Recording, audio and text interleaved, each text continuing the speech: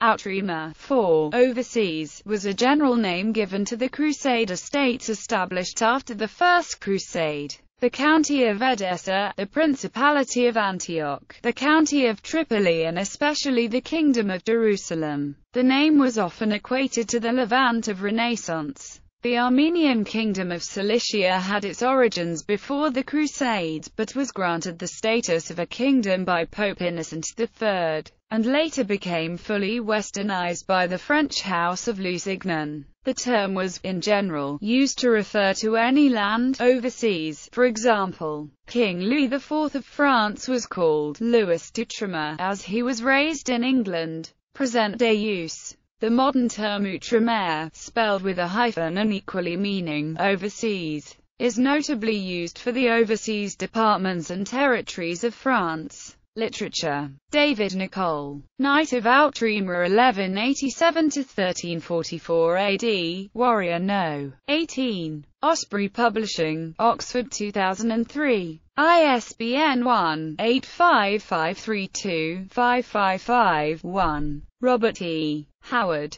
Hawks of Outremer, Donald M. Grant. Publisher, West Kingston, Rhode Island 1979.